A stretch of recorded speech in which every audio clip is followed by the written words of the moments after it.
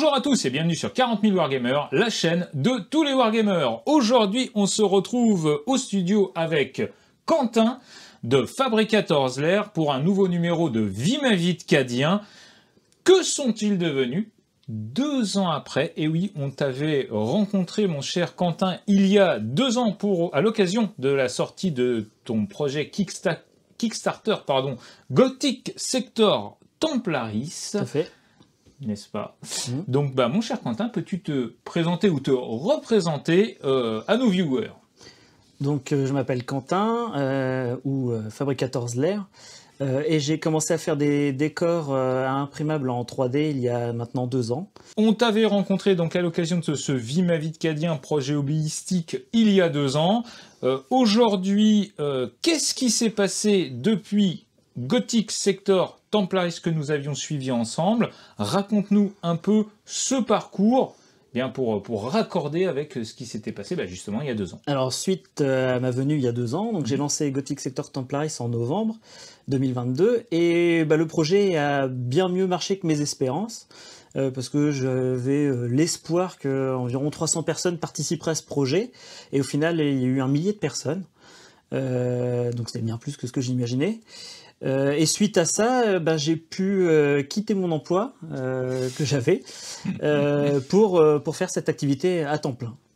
D'accord. Donc, il y a en deux ans, Gothic Sector en Templaris sort, gros succès. Vous l'avez vu sur la chaîne, vous en avez vu des, des, exemples pour Warhammer 40 000, des décors en gros de l'Imperium, hein, des ruines de l'Imperium.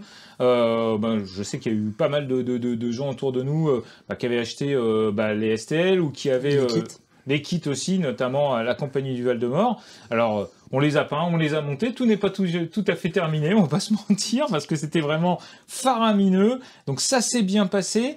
Euh, j'aurais voulu revenir avec toi avant de repartir sur le fait que ben, c'est devenu ton activité principale, sur ce qui s'est passé sur ce Kickstarter, par exemple, ben, les difficultés, les réussites. Tu nous parlais de, plus de 1000 personnes. Euh, comment euh, Est-ce que c'était plutôt des, personnes euh, francophones, des personnes à, mm. à l'international et ainsi de suite? Alors, déjà, le cœur de, cible, tu as lancé sur Kickstarter. Au départ, tu as choisi Kickstarter. Pourquoi? J'arrive pas trop à me souvenir pourquoi Kickstarter. J'ai juste vu à l'époque que bah, il y avait des projets de décor sur Kickstarter. Euh, et je me suis dit, bah, a priori, c'est comme ça qu'on fait. Ouais. Donc, je vais faire pareil. Euh, parce que c'était quand même un écosystème euh, que je découvrais euh, enfin, depuis quelques mois. Mais donc euh, je dis bah oui, je vais faire comme ça. A priori, ça semble fonctionner. Mhm. Euh, donc c'est pour ça que je suis allé sur Kickstarter. Alors depuis, il y a une autre plateforme qui propose de faire la même chose, c'est My Mini Factory, qui s'appelle des frontières, mhm. que j'ai testé lors d'un projet sur le décor pour l'échelle Epic Scale pour Légion Paris, entre autres. Euh, et donc, ben, j'ai essayé Kickstarter, euh, qui a une grosse communauté en fait, euh, parce que Kickstarter c'est connu dans le crowdfunding, dans le, le, financement participatif. Et alors, ils font des projets euh, technologiques, euh, même associatifs, des trucs comme ça. Euh, mais par contre, en fait, il y a une grosse communauté qui cherche des projets de fichiers imprimables. D'accord. ça s'est fait bah, ces dernières années avec l'essor de l'impression 3D. Et on trouve donc bah, sur Kickstarter, il y a des gens qui tous les jours regardent les nouveaux projets qui, qui concernent des fichiers d'impression 3D et qui participent. J'ai des gens qui ont participé à mes projets, bah, en fait, qui ont participé à des centaines d'autres projets de, fichiers d'impression 3D. Et donc c'est à l'international hein, en plus. Ah oui, Kickstarter, c'est euh, en fait c'est même une entreprise américaine, donc mm. euh, il y a un gros gros public américain ou même anglophone hein, plus généralement. Mais c'est disponible aussi la plupart des pays euh, européens, donc on trouve beaucoup d'Allemands, les pays scandinaves, l'Espagne, beaucoup moins dans les pays asiatiques. D'accord. Donc ça reste occidental. Ouais, d'accord. Au, au, sens large. Quelle a été la, principale difficulté que tu as rencontrée avec la, avec la plateforme, s'il y en a eu? Ou est-ce que ça t'a paru simple? Parce qu'il y a beaucoup de gens qui disent Ah ouais, mais Kickstarter, c'est, pas, c'est, assez compliqué. Euh, des fois, pour. Alors, j'ai entendu même des gens dire pour être payé, c'est pas facile, machin. Est-ce que toi, as eu, ça s'est bien passé? Oui, ça s'est bien passé. Alors, de mon point de vue de créateur hein, de projet, euh, même si Kickstarter, je l'utilise aussi en tant que, que backer, de que participant, euh, en tant que créateur, ils mettent des outils à disposition qui sont plutôt bien, euh, bah, sous condition d'avoir compris qu'ils étaient là, parce que mon premier projet, il y a plein de choses que j'ai pas découvert, en fait, j'ai découvert après, euh, parce que bah, il y a plein de gens qui viennent, mais on sait pas d'où ils viennent en fait. D'accord. Euh, mais en réalité, Kickstarter met plein d'outils, et en fait, une fois qu'on a compris comment utiliser ces outils, ben, on arrive à traquer. Tiens, c'est cette action-là de promotion qui a fait que les gens m'ont trouvé, ou c'est celle-ci, ou c'est celle-là. Euh, donc ça, en tant que créateur, c'est important de comprendre d'où viennent les gens pour savoir, euh, euh, parce que donc quand on est créateur, faut faire de la promotion, ça c'est inévitable. Et ben donc c'est intéressant de voir qu'est-ce qui marche comme promotion, qu'est-ce qui ne marche pas. Donc il y a tous ces outils-là pour Kickstarter. Pour le paiement, ben oui, oui, il n'y a pas de, ça met un peu de temps. On est payé quelques semaines après la fin du projet, Mhm.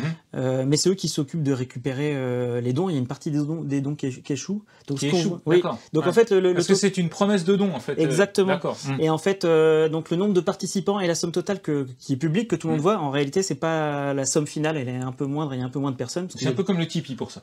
ah ouais. Et donc oui, il y a une partie qui échoue. euh, Après, euh, il y a, pendant deux semaines, en fait, les gens dont ça, le paiement a échoué sont relancés. Ouais. Euh, ils peuvent corriger, mais il y en a qui ne corrigent jamais. Après, il y en a qui me contactent hein, parce qu'ils ont des problèmes, leur banque elle bloque parce que c'est comme ça. Moi-même, hein, ma banque a, a déjà bloqué des paiements à des Kickstarter que j'avais fait. Donc, euh, D'accord, donc ça peut arriver. Ouais. ouais, D'accord. donc ensuite, le, le marché, bah, il est plutôt international. C'est quasiment euh, 45% moi, de, des gens qui participent à mes projets sont euh, américains. Ah oui. Euh, c'est 25%, je crois, de britanniques. Mhm.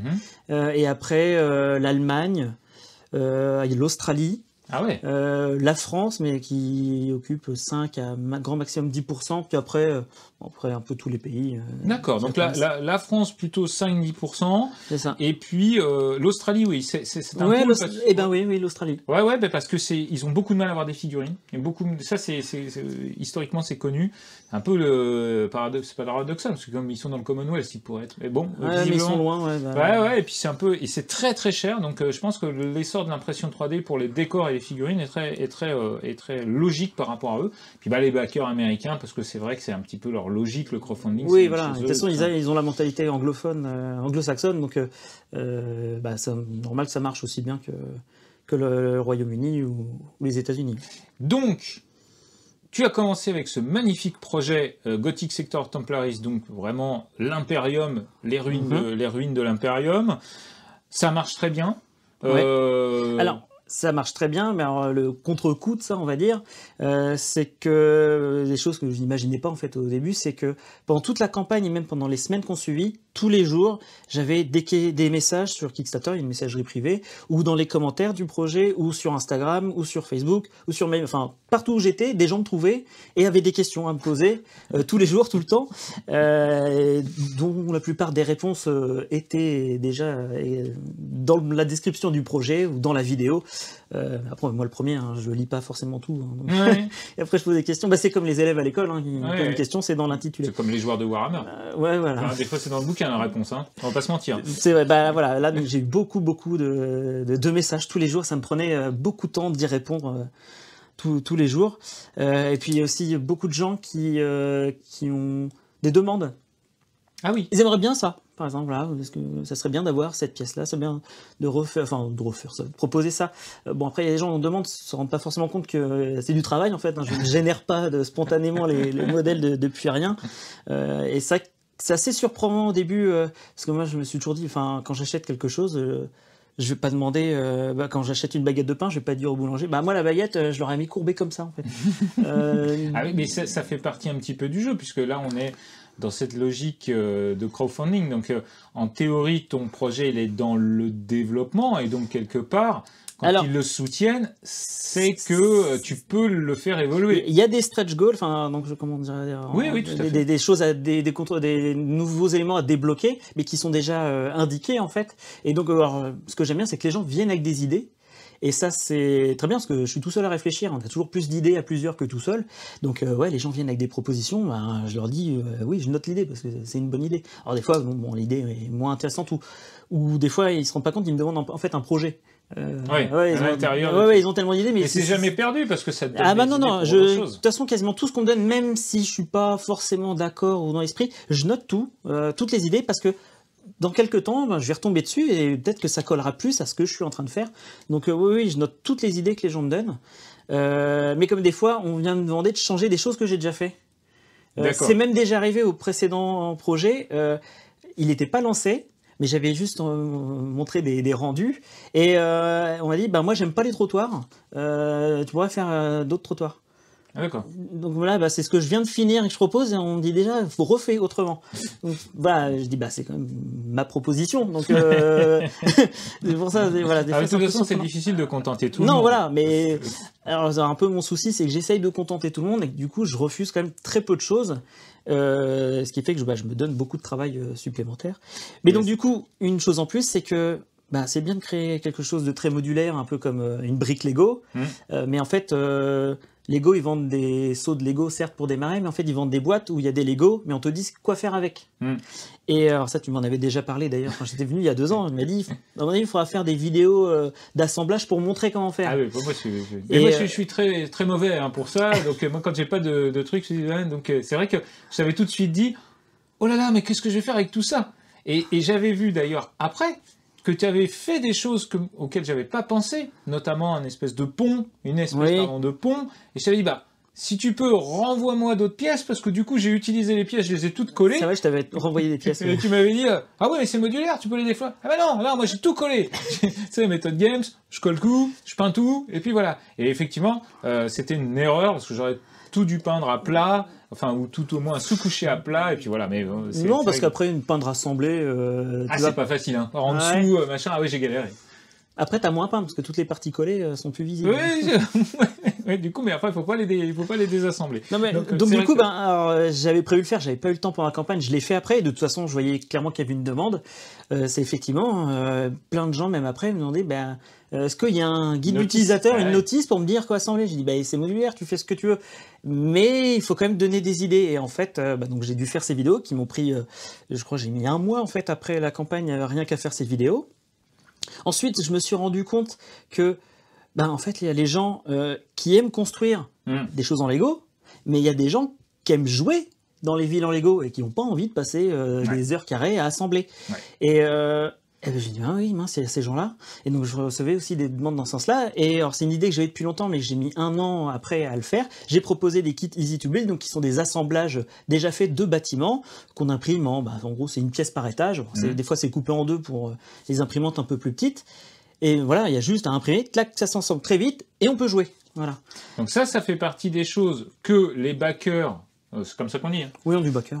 Que les backers ont reçu bah, en fait, un an après. Euh, c'est ça. Et donc, il continue quand tu as des idées, quand tu ressors des trucs par rapport à ce kit euh, Gothic Sector Templaris, hmm. et bien, il continue à recevoir des nouveautés. C'est ça. Ouais, ouais, j'ai aussi fait des socles scéniques euh, pour des figurines individuelles jusqu'à 40 mm pour le socle, avec des murs incurvés pour un peu présenter. pareil, ça, je l'ai rajouté. Et tous les possesseurs de mes précédents projets l'ont. Et alors, par exemple, parce que moi, c'était des questions qu'on qu'on m'a posé, alors pour sur d'autres de, tes projets, mais on y reviendra juste après, notamment les projets Boarding Action, il y a des gens actuellement, puisque Boarding Action vient de, ressortir pour la V10 de 40 000, il y a des gens qui me disent comment je fais pour, euh, pour euh, maintenant que le projet existe, euh, comment je fais pour être en définitive bah, backer mais nouveau hmm. donc là, tu, tu, es sur un autre site. Et oui, en fait, la distribution continuer de vendre après, c'est géré par My Mini Factory. D'accord. Euh, donc pareil, c'est un autre site que j'ai découvert, euh, que je connaissais déjà en tant que client, on va dire. Mm. Mais ce fonctionnement-là, je l'ai découvert euh, peu avant de lancer le Kickstarter.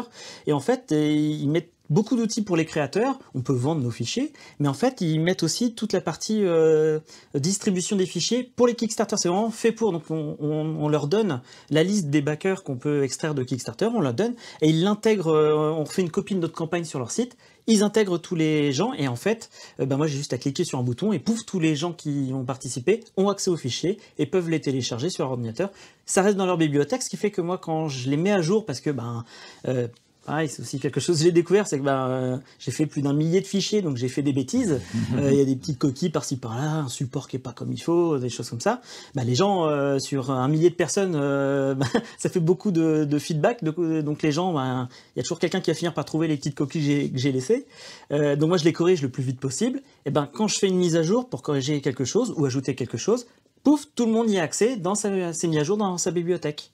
Donc c'est ah ouais, c'est un super système. Euh, et donc là, moi, si je voulais, euh, par exemple, ben, euh, ou si quelqu'un voulait un, un Gothic Sector Templaris, on va sur Mini. Et il y a une campagne qui, qui existe toujours. Voilà, qui, de, de, de, participation tardive, si je traduis littéralement. Et elle, elle tourne tout le temps, elle, n'a pas de fin. Et quand on participe, contrairement à Kickstarter, on a accès instantanément aux fichiers. Ils sont là. Alors que Kickstarter, faut attendre la fin de la campagne. Yes. Alors, suite à cette, à cette campagne, tu décides de te mettre à ton compte, mmh. de quitter ton travail, que tu aimais pourtant beaucoup d'ailleurs. Ah oui, oui, oui je, me plaisais très bien. D'ailleurs, quand je suis parti, je leur ai dit... Euh, je reviendrai. Bah, dit, je ne sais pas pour combien de temps je pars euh, faire cette aventure, mais ce n'est pas euh, contre vous. je me plais bien ici et, et euh, effectivement, dans quelques années, je reviendrai peut-être. Euh, voilà, je yes. ma petite parenthèse. Euh.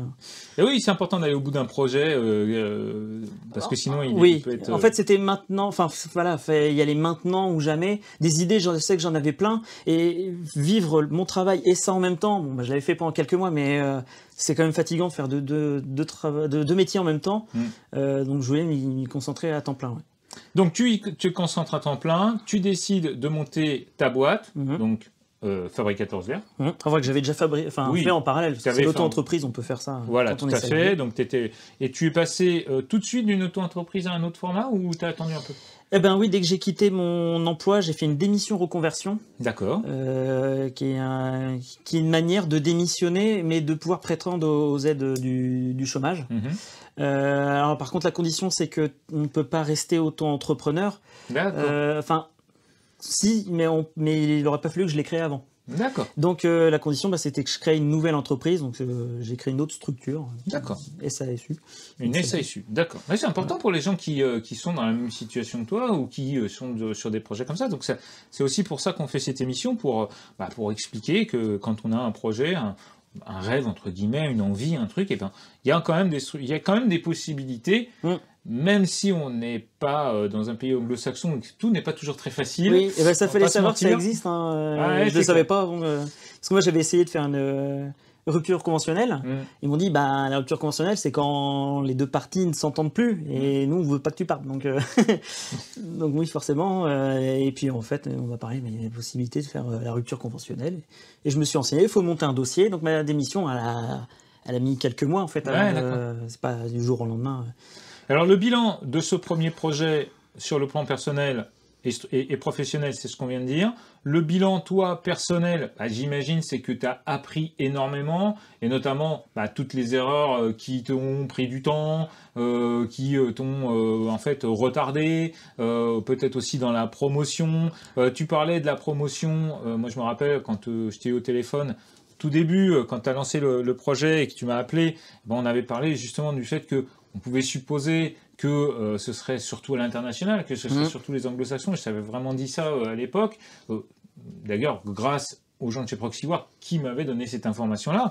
Et bon, un bon bilan sur le plan, sur le plan de, la réussite, un bon bilan aussi sur le plan personnel, dans le sens où tu as appris énormément. Oui, et en fait, même à chacun de mes projets, j'ai appris, enfin, c'est ça qui est bien, enfin, c'est aussi ça pour ça que je continue. Je pense que le jour où je j'apprendrai plus rien, il hmm. bah, faudra que je me pose des questions. Peut-être euh, c'est aussi à ce moment-là que je vais finir par m'ennuyer. Et donc pour l'instant, eh ben, chaque nouveau projet, je découvre de nouvelles choses. Euh, l'outil sur lequel je modélise, mais je monte en compétence à hmm. chaque projet, euh, ce qui me permet aussi d'aller plus loin. Parce qu'en fait, euh, Templaris, j'aurais à le refaire maintenant, bah oui, il me prendrait peut-être trois fois moins de temps à faire ah, avec tout ce que j'ai fait. Mais du coup, ça m'empêche je n'ai pas forcément réduit pour autant le développement de mes projets. Euh, on verra. Donc après, j'ai fait Forge of Pavonis. et ben en fait, euh, donc c'est un projet qui est quand même assez long. J'ai passé énormément de temps, mais en fait, peut-être les gens l'ont moins perçu, mais j'ai proposé beaucoup plus de choses euh, qu'avant, que dans Templaris. mais parce que en fait, bah, tout le temps que j'ai économisé en étant plus efficace, bah, je l'ai réinvesti pour proposer plus. Alors justement, ce deuxième projet, donc redis-nous le. Ah non, alors là, donc c'était le, quatrième projet, mais c'est ah celui qui fait la suite de, de, Templaris. Ah oui, alors parlons du projet que tu as fait juste, juste après, parce que chronologiquement, donc après euh, Gothic Sector Templaris, tu as fait un deuxième projet. Quel était ce deuxième projet? Donc c'était Gothic Sector euh, Lost Ships. D'accord. Donc qui étaient des décors d'intérieur de vaisseau euh, pour le mode de jeu boarding action, qui était donc bah, très à la mode, euh, et qui revient d'ailleurs à la mode actuellement, mais qui en tout cas à ce moment-là était très à la mode. Fin des neuf. Exactement. Dont tu m'avais parlé quand j'étais venu, tu m'avais dit. Il y a un truc qui se trame chez Games. Exactement, tu m'as dit chez Games là pour moi ils vont vers les intérieurs des batailles dans, dans les vaisseaux. On dit c'est là qu'il faut aller. J'avais pris note de ce que tu avais dit et moi j'ai dit bon les intérieurs de vaisseau, c'est bizarre. Et puis euh, j'ai ensuite euh, quelqu'un d'autre que je connais qui m'avait contacté aussi. Il m'a dit franchement, tu devrais faire des intérieurs de vaisseau. Euh, et puis ce qui serait top, c'est que ce soit rétroéclairable. Et là, je dis, bon, deux personnes qui me disent la même chose en, l'espace d'une semaine. Je dis, bon, il y a un truc à creuser. Alors, je vais aller voir. Ah oui, Barney Action. Mais ils en parlent depuis quelques mois. J'ai commandé la boîte. Voilà.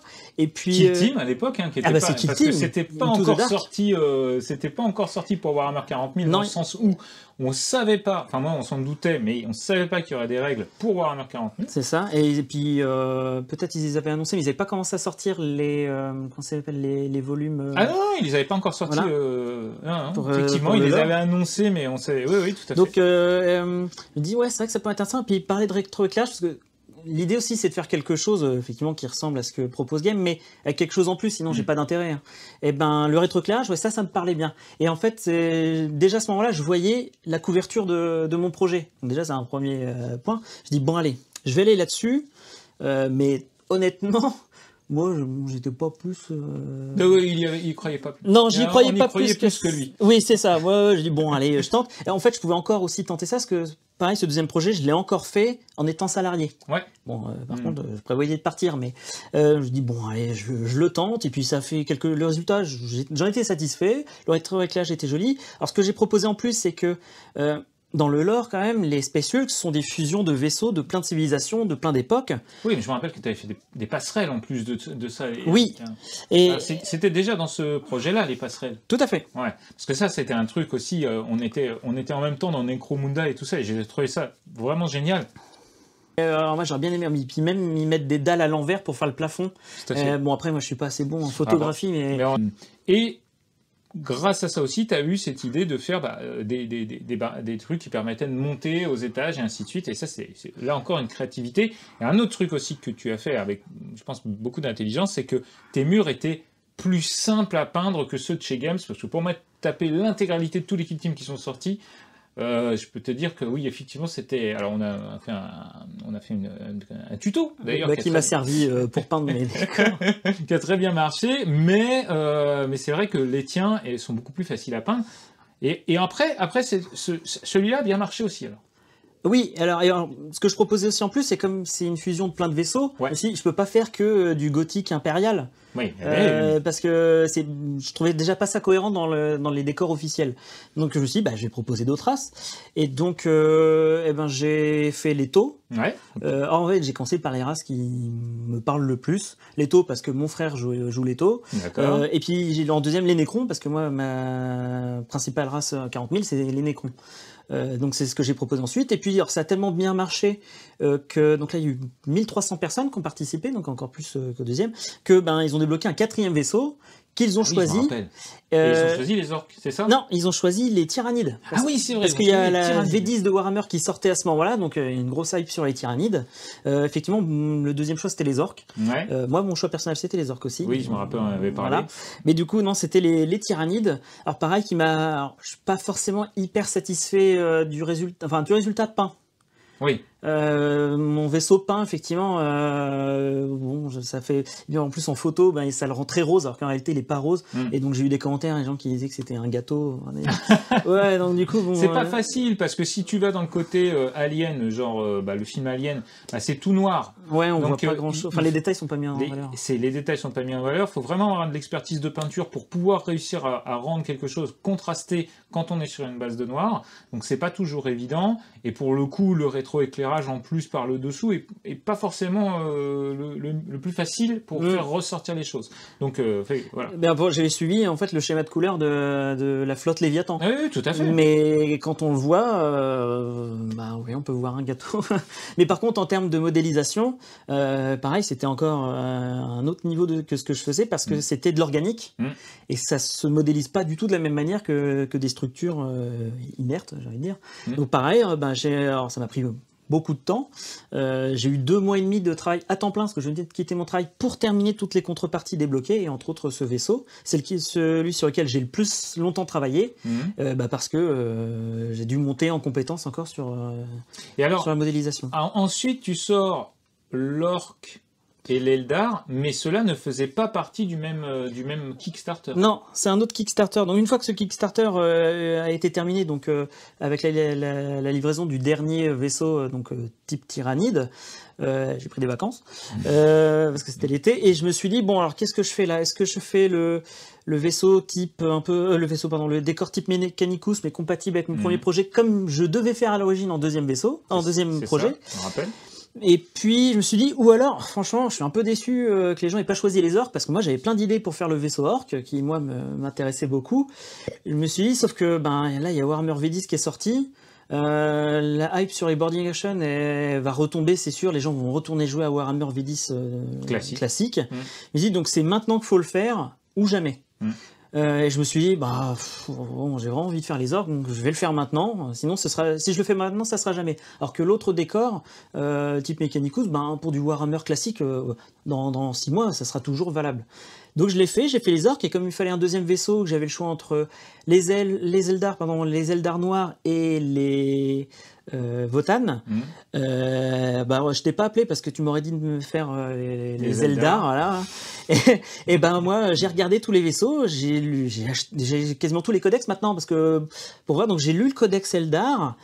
Et sur le coup, il m'a pas plus inspiré que ça pour les intérieurs de vaisseaux. J'ai lu celui des des, des Votan et bah, lui m'a vachement plus inspiré, donc euh, ben, j'ai choisi les Votan. Et, donc euh, bah, ce projet, euh, j'ai pu faire les orques, j'ai beaucoup, j'ai encore appris, pareil, puis c'est rigolo les orques parce que ça fourmille de détails, alors je crois que tu m'as un peu fait affection que un peu plus difficile à peindre parce que pour le coup j'ai remis des détails. Ah oui, tout à fait. Mais bon après ils sont ils sont il y avait là il y a des, décors en plus ils sont très cohérents avec les décors games qu'ils avaient sortis pour Kill Team mais qui n'était pas du boarding action. Ouais, Donc euh, c'est sympa parce que même sur une table qui n'était pas une table de boarding action, on peut s'en servir pour faire des bouts de maison orc dans un campement orc. Donc, euh, les gens qui les mettaient en cube. Euh, Exactement, c'est ce que j'ai fait aussi. mais après, moi, comme je les ai peints ou j'ai vu des tutos, en fait, c'est pas parce qu'il y a beaucoup de détails qu'on est obligé de peindre chaque détail et l'aérographe. Non, mais ça fait des rendus bien, en fait, parce que pareil, moi, j'étais parti pour. Et en fait, les gens, ils mettent moins de couleurs et eh ben en fait ça rendait propre aussi. Donc euh, je me suis dit les décors c'est pas les détails c'est pas si grave s'il y en a beaucoup parce que des fois on fait abstraction et juste même s'ils sont de la même couleur que le reste mais brossés ou ombrés, eh ben on les voit quand même et le fait qu'ils soient de la même couleur que le mur derrière, ben en fait ça choque pas. Ouais. Donc euh, après tu as fait donc euh, donc j'ai fait ces deux-là. Euh, le troisième, donc euh, le vaisseau monde Eldar a été débloqué. je l'ai fait aussi. Pareil, c'était aussi l'occasion d'essayer de faire quelque chose d'autre parce que pareil, les vaisseaux monde, c'est pas des petits couloirs étriqués comme un vaisseau humain parce que ben, les vaisseaux humains ou même orques, ils vivent pas dedans non plus, ils mm. vivent sur des planètes, alors que les vaisseaux mondes, bah, c'est leur maison quand même. Mm. Donc euh, c'est pas des petits couloirs étroits, des KGB. Il fallait essayer de donner de la hauteur, tout en respectant euh, les dimensions euh, imposées par le jeu Boarding Action, parce qu'on fait pas ce qu'on veut en termes de dimensions. Euh, ben j'ai quand même trouvé une parade en faisant dépasser les murs de la hauteur, mais en proposant des versions où c'était coupé, mm. euh, pour sinon on avait envie de mettre un, un niveau. Ou en fait c'est plutôt aussi parce qu'il y a toujours des gens pour dire, bah, c'est bizarre si c'est un niveau, pourquoi ça dépasse et que c'est vite, je peux voir de l'autre côté du mur. Ah, parce qu'il y a des gens tatillons partout. Euh, donc j'ai proposé les deux versions. Je dis voilà, c'est coupé, tu peux pas me dire qu'on voit par-dessus. Tu imagines bien qu'il y a le plafond. Et sinon, bah, pour ceux qui veulent, euh, qui se moquent un petit peu ce genre de détails, mais qui veulent un truc un peu plus impressionnant, bah, il y avait une alternative. Et eh ben, en tout cas, je te félicite parce que moi, ça m'a fait bien plaisir et j'ai beaucoup adoré, euh, enfin, j'ai beaucoup aimé ton, ton, itération sur les Eldar. Donc, ça, c'est ces deux, ces deux projets-là. Comment, euh, malgré le lancement de la V10 c'est un petit peu la retombée de la hype de Boarding Action, ça a bien marché quand même. Les, les backers t'ont suivi, enfin les historiques t'ont suivi. Peut-être t'as pas récupéré des nouveaux. Oui, en fait, euh, c'est vrai que je n'ai plus les stats, mais euh, c'est vrai que je commence à force à avoir une base de personnes qui, mm. sont là à chaque fois. Euh, D'ailleurs, je leur dis, mais c'est bizarre, euh, je commence à faire des décors pour différents types de jeux, vous êtes toujours là, mais vous, jouez à tout en fait. Mais c'est bien Ah oui, c'est tant mieux. Mais par contre, là, non, il a quand même moitié moins marché que le précédent. D'accord. Donc le premier, il y a eu 1300, là, il y a, été, il y a eu 600 personnes. Donc ça reste très bien. Hein, mm. Pour, pour, ce projet, mais oui, effectivement, il y a une partie. Mais parce qu'en fait, ce que je me rends compte, c'est que j'ai beau proposer des choses différentes, sur le premier projet, le vaisseau que les gens impriment le plus, c'est le vaisseau humain. Bah oui, bien sûr. il y a beau avoir les autres races, et on peut même les mélanger ensemble, j'ai même fait des murs de transition pour les fusionner, les gens, ils veulent du décor qui ressemble à l'officiel, alors que ben les gars, c'est aussi, ben les races. C'est aussi parce que 80% euh, des ventes de Space de, de, Games Workshop c'est du Space Marine. Oui. Et mais c'est vrai. Il rien, euh, c'est voilà. Et, donc euh, alors ensuite, ensuite. Donc ça, c'était l'été dernier. c'était même octobre de l'année dernière pour le deuxième, ouais. D'accord.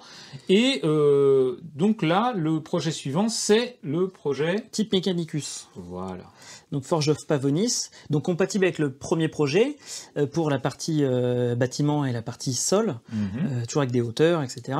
Et puis là, ben, il fallait aussi un système de comment s'appelle de passerelle mhm. modulaire qui n'y avait pas dans Templaris ainsi un système là, je rappelle on est sur du Warhammer 40 000 40 000 oui. du Kill Team aussi c'est ça avec donc ben là faut faire un environnement industriel donc il y a des machines industrielles il y a une grue il y a aussi tout un système de réservoirs mais modulaire, pareil, pour faire des, réservoirs avec des tuyaux de plusieurs formes, de plusieurs hauteurs, qu'on peut mettre euh, mélanger avec les plateformes. Donc pour faire des, plateformes avec des, tuyaux, des réservoirs dedans, tout intriqué, euh, comme on peut voir. Euh, et donc ça, c'est un projet donc, qui a pris beaucoup, beaucoup de temps. C'est un projet qui te tenait à cœur. C'était un des premier projet que tu avais dans la tête. Ouais, bah c'était le deuxième en fait. Euh, enfin, je l'avais même dès le début en fait. à, l'origine, ça devait être un seul projet Templaris avec tout ça dedans, mais en fait, je me suis dit mais c'est tellement gros. Euh, en fait, je le sortirai jamais ce projet. Donc j'avais coupé et je me suis dit bon déjà ça en fait ça avait déjà un bon projet euh, généreusement fourni. Donc j'ai fait Templaris et donc ça c'était la deuxième partie. Il y avait même une troisième partie euh, qui arrivera euh, plus tard. et donc ben oui donc cette partie là en fait même elle, elle était déjà très grosse parce tu que veux pas dire? Tu veux pas nous donner l'exclusivité? Je crois que je l'appellerais Gothic Sector Fortress. Parce que le nom, il est plus ou moins écrit depuis deux ans, donc euh, D'accord. je l'ai appelé Fortress, voilà. Ok, très bien. Euh, et en fait, euh, donc c'est quatre mois de travail, mais euh, enfin, des grosses journées en semaine, une partie de mes week-ends, toutes mes soirées quasiment. C'est vraiment. c'est un peu comme youtubeur, hein, c'est du 10 heures par jour, on va pas se mentir. Hein. Ouais, bah même plus ouais, que, que 10 heures du coup, mais, parce que je me couche tard. mais ouais, donc un gros gros projet, mais qui a pas marché autant que Templaris. Euh, ou que même euh, le premier avec les vaisseaux, enfin qui a marché autant que le suivant, quoi. Donc 600 personnes qui participent. Euh, donc ça m'a appris en fait que c'est pas parce qu'un projet est gros qu'il marchera plus.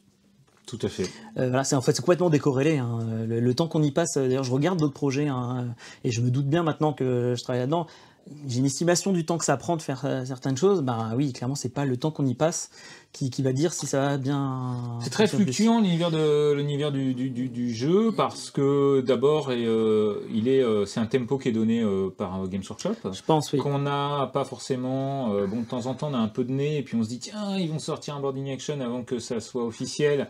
donc là, on tombe juste. Euh, mais la plupart du temps, c'est pas évident. C'est comme dans la mode, hein, si tu veux. Enfin, il y a des phénomènes de mode. Et même, il faut des fois, il faut même pas être trop en avance non plus parce que on se plante. Parce qu'en fait, le, vaisseau euh, Lost Ship, mine de rien, il est sorti euh, à peu près 7-8 mois après la première sortie de la boîte, de la boîte Kill Team avec les intérieurs de vaisseau. Mais ils n'avaient pas encore sorti les trois autres. Ils en avaient sorti deux, je crois, au moment où je suis sorti, euh, voire même trois. Et mais là, la hype était là parce que ça met du temps à monter une hype mine de rien. Parce que Boarding Action, tout le monde ne s'est pas mis à y jouer euh, fin 2022. Ils ont plutôt commencé en 2023. Il faut noter aussi que le ticket d'entrée Games Workshop pour jouer au Boarding Action était très élevé. Et après, ils ont sorti le set de décor. Hors Kill Team pour Warhammer 40 000 Boarding Action. Donc en définitive, ça a été un temps long, et c'était un temps, euh, si tu achetais toutes les boîtes Kill Team comme je l'ai fait les unes derrière les autres, bah, c'était quand même un gros billet à chaque fois. Ah et puis, euh, et, au final, c'est vrai qu'après, quand ils ont ressorti juste les, juste les murs, euh, ben euh, voilà. Mais dans un kill team, tu as les règles, tu as les bouquins, tu as, les, as, le, as les. T'as deux kill teams. Et t'as deux, as deux kill teams, t'as ceci, tout ça. Donc chaque fois, tu avais un surcoût, il fallait quand même pouvoir l'investir. Mm. Donc c'est vrai que ça a été, euh, ça a été bah, donc, un petit coucou à Manu d'ailleurs, qui, grâce à ses promotions, n'est-ce pas, ah bah, nous a aidé. Alors pour le coup, c'était une, une, période dure, en parlant de, Manu, c'est que je crois que je n'ai pas réussi à avoir une seule boîte kill team chez Manu parce qu'à chaque fois, il n'avait pas les quantités. Ah. Donc j'ai dû à chaque fois aller sur le site de Game Workshop à 11h le samedi à camper à me mettre une alarme pour être sûr de les avoir. Bon. Eh Mais ben. d'ailleurs, depuis ça et Léviathan, euh, ben, ça s'est amélioré parce que maintenant, chez Manu, j'arrive à voir mes réservations. Voilà. Chaque fois. Bah, c'est qu'il est passé. Ah bah oui, il est passé. Est passé. C'est un monsieur, c'est un grand monsieur. Oui, bah Et- tant mieux. Tant mieux pour nous. Et, euh, et donc, euh, donc effectivement, il y a, il y a ce cette phénomène euh, un petit peu mouvante comme Ouais. ça. À un moment, le Mechanicus, alors le Mechanicus n'a jamais été tellement mis en avant. Enfin, c'est mis en avant par Games, mais c'est peut-être pas là où il y a le plus de joueurs aussi. Euh, on sait qu'il y a une grosse communauté orc. Mais bon, euh, c'est pas toujours évident non plus. Enfin, je veux dire, donc c'est Oui, parce que même s'il y avait une grosse communauté, euh, mettons, euh, Eldar Noir, euh, il n'y a jamais eu de décor Eldar Noir. Alors, Et donc, si on sortait des décors. tes concurrents, oui. Oui, mais des décors officiels, je veux Ah, dire. c'est Et ça. c'est pas. et Comme il n'y en a jamais eu un Eldar non plus. Voilà, mais c'est pas pour autant que aller sur ce créneau, les gens veuillent aller euh, iront parce que en fait, même si Gamershop l'a pas fait, ça les intéresse pas forcément. Ah. C'est- aussi ça que je vois en fait, Mm. Parce que parce que moi j'ai fait des vaisseaux de toutes les autres races. Et ben, je continue de vendre celui des humains euh, classiques. Ouais, tout à fait. Donc euh, Bah Après, euh, je pense qu'il y a une différence quand même avec entre le boarding action pur et ce que tu fais à côté, c'est-à-dire des tables de jeu, Mm. notamment Gothic Sector Templaris. Mais là aussi, si tu veux, l'imaginaire moyen d'une bataille de Warhammer 40 000, c'est tellement dans des secteurs impériaux. impériaux. Alors ils sont censés que- se battre partout, mais en fait, c'est euh, 80%. Et c'est ce qu'on peut, ce que certains joueurs, d'ailleurs euh, anciens, reprochent. C'est-à-dire qu'il y a un manque de créativité de, de ce côté-là, euh, ne serait-ce que si on parle des Eldar. On a, euh, enfin, les tables Eldar qu'on voit dans les bouquins Games, c'est les mêmes tables qu'il y a 25 ans. Oui. Et c'est les mêmes tables. hein. Et, euh, Oui, c'est les mêmes décors, on peut décors. même voir la couche de poussière. euh, Ouais. Alors pour les avoir vus à Warhammer World, euh, il- ça va, ils dépoussièrent quand même. Mais, euh, mais voilà, donc, et puis, et puis c'est cet imaginaire qui est là, donc, euh, donc voilà. Euh, alors, donc euh, le Mechanicus, Ouais. je me rappelle aussi qu'il y avait un tapis qui était... euh, Ah oui, alors c'est la première fois. euh, donc j'ai fait euh, designer par Pint- Pintoche et Tentacule. mhm. Je voulais un tapis en fait designé pour l'occasion et de pouvoir proposer le design du tapis aux, aux gens pour qu'ils puissent le faire imprimer par leur imprimeur de tapis habituel. Au hasard, Torex, Stratema. Par exemple, bah, moi je l'ai fait imprimer par Torek. Et parce que ben ouais, je voulais. Euh, parce que c'est vrai que j'avais proposé des dalles de sol, mais euh, tout le monde n'a pas envie de. Parce que ça utilise quand même pas mal de matière. Ouais, tout à fait. Euh, bah, il y avait- puis bon, pareil, ça glisse pas, hein, les, les dalles. Donc voilà, j'ai dit, il y a des gens, ils préfèrent quand même un tapis. Je dis, bah, j'aimerais bien leur en proposer un. Mhm. Donc là, je l'ai fait. Euh, il m'en a designé un avec mes demandes. Et il m'a même intégré des éléments de décor qui sont des éléments que j'ai modélisés, imprimés et peints. Mhm. que J'ai photographié et que je lui ai donné, qui me les euh, dans le sol martien. Euh, donc je suis très content de ça. Ah oui, magnifique. tapis Magnifique tapis. design. Euh, oui, d'ailleurs, je t'en avais fait par Ah, mais je te remercie. et euh, oui, donc c'était le plus. mais je, pense que c'est quelque chose que j'aimerais refaire. Dans peut-être pas à chaque fois, parce que c'est pas aussi facile. Ouais, Enfin, c'était- moi, je peux pas le faire tout seul en tout cas. Ça, cette clair. espèce de transversalité entre les entre les entre les artistes, j'allais dire, entre les compétences, euh, entre les artisans, entre les voilà, entre les entre les dons. Je sais pas, euh, voilà. Euh, je cherche le mot, mais je le trouverai pas. Donc voilà. Compétence, ça me semblait bien. Compétence, c'est bien. Ouais, compétence. et je trouve ça intéressant aussi. Je trouve ça intéressant aussi. Bah ouais, ouais, du coup, bah moi, ça me fait voir d'autres gens, euh, je les contacte. euh, puis ça m'a permis, bah, après, de contacter Torel. J'ai dit, bah, j'ai un modèle, est-ce que tu peux me l'imprimer Euh, Puis, bah, il m'avait même fait visiter son usine par téléphone via, ouais, via WhatsApp. Et c'est pour ça que. Ah oui, alors, c'est- pour en revenir, ce qui a changé aussi depuis que je suis venu, ben, j'ai aussi pu discuter, avoir au téléphone euh, euh, Creed, Ouais. qui, qui m'avait déjà appelé, on avait discuté, il voulait parler imprimante, il y avait des questions. Et... Donc euh, ouais, c'est bien, j'ai l'impression d'être rentré dans une communauté, effectivement. Mais c'est le cas. Euh, j'ai eu. Manu plusieurs fois au téléphone, alors, Ouais. toujours un bon moment. Euh, C'est le roi, hein, il lui envoie des SMS exprès pendant les émissions du lundi. non, mais donc ouais, j'ai- je suis content en fait d'être rentré dans cette communauté de ta communauté en fait. hein. Merci. Euh, et, euh, et donc bah oui, donc j'ai vu Creed. Et j'ai William Ouais. euh, qui m'a contacté sur Kickstarter De Fabricator's Lair. de, de, bah non, de Proxy War. de pardon. Proxy War. Alors je suis pas sûr qu'il m'ait remis Ah ouais? par rapport. Si, à... je crois. Si, tu crois? Ouais, Bah, On n'en a pas parlé, mais et en fait, alors, je sais plus à la suite de quel projet, peut-être à la suite de Lost Ship part 2. euh, on avait discuté, il m'a proposé qu'un jour je voulais, on pouvait faire une collaboration. Mhm. Euh, et voilà, donc euh, ouais, ouais, je pense que. Et puis même tes nouveaux partenaires, euh, la plupart, j'ai eu à discuter avec eux, Notamment la boîte à radio. notamment la boîte à radio, effectivement. Euh, donc ouais, donc c'est pour dire, mais voilà, c'est exactement ça qu'on veut. De toute façon, enfin l'idée, l'idée, c'est qu'aussi ce soit transversal, que que les, les, compétences et les connaissances de chacun euh, puissent aider euh, au développement de ce microcosme et de ce voilà, et, et, que tout le monde se soutienne, parce que l'intérêt c'est de faire grossir le gâteau, c'est pas de le couper en plus petites parts. Donc je suis complètement, je suis complètement content moi en plus parce que c'est vrai que j'essaie toujours de soutenir aussi des humains et des personnes que j'apprécie, donc c'est un c'est un plaisir.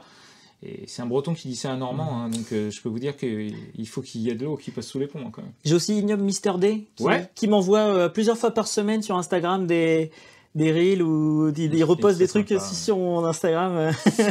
donc on les salue, on les salue tous en tout cas et merci euh, justement à cette communauté. Puis j'en profite pour faire un, un, coucou aux tipeurs dont tu fais partie parce que c'est grâce à vous aussi que tout ça existe puisque tout ça continue à vivre grâce à vous. Alors, ensuite, on va... J'ai encore un projet Ah bah oui Ben oui, je sais bien, mais je, veux dire... Donc, ce projet n'a marché, correctement, pas autant que voilà, mais euh, euh, voilà, très beau projet. Euh, je vous invite, d'ailleurs, je vous le redis, à aller le voir donc sur My, Mini Factory. Voilà, et vous pouvez le récupérer. Ça marche pour Necromunda, ça marche pour Kill Team bien sûr, mhm. ça marche pour Warhammer 40 000. Euh, c'est très narratif, mais pas que. Euh, ça, ça, marche aussi si euh, vous avez bah, besoin d'avoir des bloquants, des ceci, des cela. Et franchement, c'est que du bonheur. Ouais, parce que pareil, maintenant, chacun de mes projets, je propose des modèles easy to build. Voilà. Il y a une partie modulaire et il y a une partie easy to build. Comme ça, ben, les gens qui veulent faire du modulaire, ben, ils peuvent faire ce qu'ils veulent. Les gens, alors d'ailleurs, c'est ça, la communauté, quelque part, je pense à une communauté. Mmh, les gens m'envoient des photos de ce qu'ils fabriquent eh ben ils font des trucs impressionnants, ils ont des idées que moi j'aurais pas eu, même d'utilisation de mes propres pièces. Hein. Des fois ils retournent des pièces à l'envers et ça fait super bien. Euh, et, donc bah, ils m'envoient ça en photo et bah, chaque fois je leur dis mais est-ce que je peux poster ça? Parce que c'est génial et ils m'autorisent. Il y a quelqu'un même qui m'avait envoyé une photo du vaisseau taux peinte je l'avais partagée. Ah oui, elle est extraordinaire. mais elle est tellement belle, au début je crois que c'était un rendu 3D. Et euh, en fait, ça fait une table complète. Elle, est, elle, a un magnifique tapis en plus. Et bien pour le coup, Torek a sorti un, tapis designé par, par euh, Nico Prime. Et euh, justement, même pour 40 000 d'ailleurs, vous faites ça, ça fait comme une cité euh, tôt, mm. ça vous fait des murs, il suffit juste de dire que c'est bloquant, vous mettez deux, deux hauteurs, vous pouvez faire un truc de dingo avec. Oui, parce que la personne qui l'avait utilisé, sa table, c'était pas pour border ah, hein, elle avait mis des, fait des murs, des couloirs, mais c'était pas le format ni les dalles de. T'avais l'impression d'être dans, dans un film presque, tu sais, où juste avant de voir des personnages, tout ça. Enfin, il y avait un côté euh, très maquette. Euh, mais vous savez, tu sais quand quand tu vois un projet d'un quartier euh, quand tu vas voir le projet d'un quartier. Avant qu'ils le construisent. Voilà, c'était, c'est génial. C'est vrai que ça faisait ça, puis c'était hyper propre. Super. Euh, ou alors il y en a un qui a fait avec le Templaris, il a fait un énorme bâtiment euh, qui, qui, qui, prend tout son plan de travail de sa cuisine. et puis pareil, bah, pareil, je l'ai posté, et ça c'est des vidéos qui font beaucoup réagir. Donc oui, le retour de la communauté est, très intéressant, parce que les gens ont des idées, enfin il faut vraiment les écouter, parce que les gens ils ont des bonnes idées. Hein. Et donc à chaque fois, Pavonis aussi, il y avait donc du modulaire et du non modulaire. Euh, et ça, je le ferai à chaque fois. Et après Pavonis? Et donc là, euh, ils ont sorti chez Game Workshop euh, Epic, enfin Légion Imperialis. Alors, à ma grande déception, mais aussi la tienne, c'est qu'en anglais. Hmm. parce que moi, je comptais m'y mettre aussi, mais en anglais, dur. Mais bon, j'ai quand même pris la boîte. bon, bah, j'ai lu ce que j'ai pu, parce que comme c'est écrit en anglais. Voilà. Euh, par contre, j'ai peint toutes les armées. Euh, donc, je peux rajouter maintenant dans ma collection, j'ai deux armées peintes supplémentaires, bon, qui sont en epic scale, mais... et une armée de nains que vous verrez très bien. Et oui, une armée de nains aussi, mais... Donc là, deux armées, euh, ça fait des centaines de bonhommes, hein, alors qu'ils sont minuscules. mais c'était bah, intéressant à peindre, en fait. c'est un peu à la chaîne, mais... T'avais jamais joué à Epic, toi, à l'époque?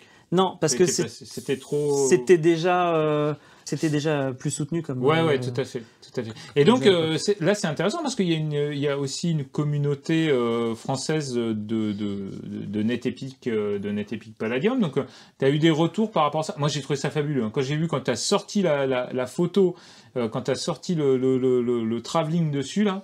Je trouvais ça super beau. Hein. Bah, en fait, pourquoi j'y suis allé dessus, c'est que je me suis dit, bah, j'aimerais explorer cette échelle parce que alors d'un côté, on peut faire moins de détails parce que c'est plus petit mm. et que moi, il faut que ce soit toujours imprimable en filament euh, et en résine, c'est le filament le limitant. Mais d'un autre côté, bah, comme c'est plus petit, je peux faire des choses euh, plus grosses, plus impressionnantes.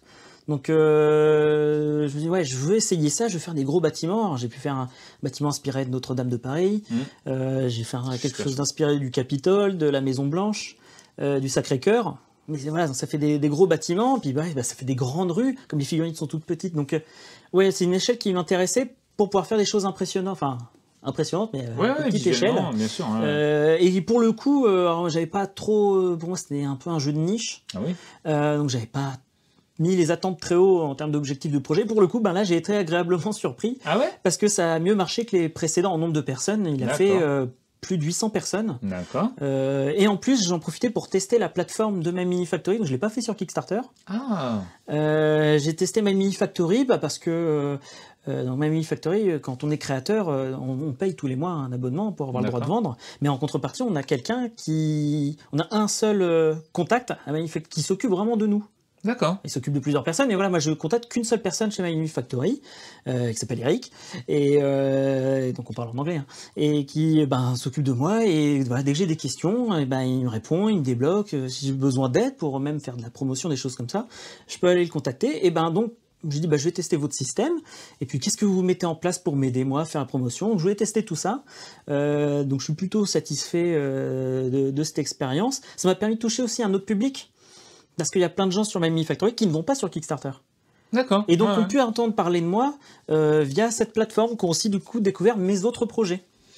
Alors, justement, euh, ça a bien marché. Un retour aussi peut-être de la communauté FR, je parlais de, de, de, de NetEpic ou, ou, pas d'ailleurs, je sais pas, mais je sais que quand ils nous suivent, et, je pense à Jean notamment, ou des gens comme ça, qui, quand ils ont vu ton, ce que tu as fait, ont trouvé ça très très bien. Donc, j'ai euh, pas, voilà, ils n'étaient pas identifiés clairement de NetEpic, donc j'ai pas fait le, rapprochement. Et puis après, après ce, ce détour par l'échelle épique, eh ben, je me suis dit, comme euh, The Old World est ressorti, puis bon, euh, historiquement, je suis quand même un joueur plutôt euh, de Warhammer Fantasy Battle. Ah, bah, carrément. ben, je te l'avais dit d'ailleurs il y a deux ans. Pourquoi Tu m'avais dit pourquoi pas des décors pour Battle? Je t'avais dit que bah, ça m'inspirait pas et, mmh. que ça s'y prêtait moins, que c'était moins pratique. Et quand j'ai relu le livre de règles de, de, The Old World et que j'ai vu toutes les photos des tables et des armées, je dis ah quand même, euh, ouais là j'ai des idées d'un coup. Donc j'ai commencé ah, à Ça m'a surpris hein, parce qu'il m'en avait pas parlé du tout. Quand j'ai vu ça popper, je me suis dit ah oh, l'enfoiré. Et en plus il m'a dit tu vas recevoir quelque chose. Donc presque en même temps que j'ai lu les photos, j'ai reçu le, le, colis qui était gros colis. Parce que pour le coup là c'est très prémonté, on va dire. Ouais. Euh, il y a un peu de modulaire parce que j'essaie toujours de faire un peu de modulaire. Et c'est bien hein, euh, parce que là il y a les deux. Ouais. Donc c'est vraiment bien. Moi, je trouve ce kit absolument fabuleux. Euh, kit que vous allez voir ou que vous avez vu, suivant quand cette vidéo va sortir, sur un rapport de bataille, euh, bah avec toi d'ailleurs. Et, euh, et Contre qui? C'est surprise. Et, et, donc c'est vraiment... Ah, moi j'ai adoré. alors je ne sais pas si on voit bien là évidemment, mais vous le verrez avec des photos en incrustation. vraiment fabuleux, facile à peindre, facile à monter, avec un rendu vraiment top la mine de la Moria, euh, donc pour le Seigneur des Anneaux aussi bien que pour euh, Warhammer euh, The Old World, que pour du Battle si vous voulez, ou n'importe quel jeu de rôle, parce que clairement, de l'escarmouche à la Warcry. Alors moi j'ai déjà quelqu'un qui m'a dit qu'il comptait l'utiliser pour Donjons et Dragons. Ben voilà, exactement. Je moi, je connais pas les règles de Donjons et Dragons. Bah, c'est un jeu de rôle pur, hein, mais, bien sûr, parce que en plus de ça, tu as ben, des petits accessoires, tu as des, trucs. c'est tout bête, hein, mais une petite table, un petit, un, petit trône, des petits. Franchement, c'est top. Super. Donc ouais, là, l'idée. Alors au début, j'étais pas parti sur les mains. Ah oui? Non, j'avais des idées, mais c'était pour les rois des tombes. Ah. Et euh, là, j'avais déjà plein d'idées. Hein. Euh, j'avais déjà tout noté. Et pourtant, j'étais pas prêt parce que j'étais commencé tout juste à travailler pour euh, le, projet en Epic Scale. D'accord. et puis, je me suis dit, le temps que je sois prêt, moi, ça fait un projet qui sort fin de l'été. les Rois des Tons, on n'en parlera déjà plus. Parce que effectivement, j'essaie quand même de coller un peu à l'actualité parce que. Malin. Bah, parce que sinon, on, voit bien, c'est ça que je te disais, Lost Chip, il est bien tombé. Hmm. Mais en fait, il y avait déjà des gens qui faisaient des décors de vaisseaux avant. Ah oui, clairement. Voilà. Et eh ben, ça marchait pas aussi bien. Alors, il y avait quand même deux projets, mais qui faisaient pas des Kickstarter, qui étaient en vente directement, hmm. qui s'étaient déjà vendus tous les deux à 1000 exemplaires quand moi j'ai ah, lancé mon projet. Ouais, quand même. Hein. Ben, malgré ça, ça m'a pas empêché de, fonctionner aussi bien. Mais des projets qui pas, pas forcément à la même échelle, parce que, que Boarding Action imposait des dimensions, mais qui étaient sortis dans les années précédentes, et ben ça marchait pas aussi bien parce que euh, la grosse communauté, elle n'était pas là-dessus. Donc j'essaye un peu de coller. Euh, les jeux impérialistes, mon décor, il tombait pas si longtemps que ça après euh, la sortie de la boîte. Les gens, une fois qu'ils ont plein leur figurines, bah, ils commencent à se dire oui, il faudrait des décors, même s'il y en a des officiels qui, qui, existaient, mais qui me plaisaient pas pour le coup parce que je les trouvais pas... En plus, ils ont été très difficiles à avoir. Il y avait plein de ruptures de stock et ainsi de suite. Donc franchement. Mais et en plus, ben, je trouvais qu'ils ressemblaient pas au décor de l'échelle 28 mm. Mm. Normalement, on s'attend quand on change d'échelle à avoir les mêmes choses mais en plus petit. Et ah, comme ça, je réfléchis. Mais et ben là, c'était pas le même style. Alors c'était toujours gothique, mais on ressent, on revoyait pas la ressemblance. Alors moi, je suis parti. Bah, faut choisir des trucs qui ressemblent à ce que j'ai déjà fait, mais en plus petit. Alors j'ai pas pris mes décors, je les ai diminués parce que les dimensions, les proportions sont pas les mêmes. puis va pas fonctionner. Une partie des décors qui, des détails qui de toute façon ne sont pas imprimables, donc ça sert à les mettre. Et puis voilà, il fallait retravailler les choses, mais voilà, l'idée, je voulais que ça ait la même patte qu'avant. Et donc là, ben là pour les décors euh, The, Old World, ben si, euh, ben non.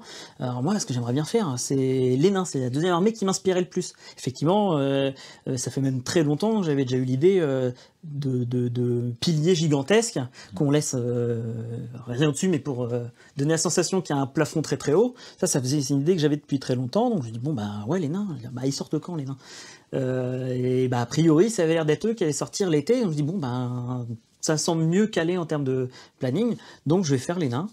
Euh, et donc bah, j'avais des idées. Alors pareil, là j'ai encore appris pas mal de choses parce que euh, bon, bah, déjà j'ai dû faire un nain pour faire une, statue de, guerrier nain.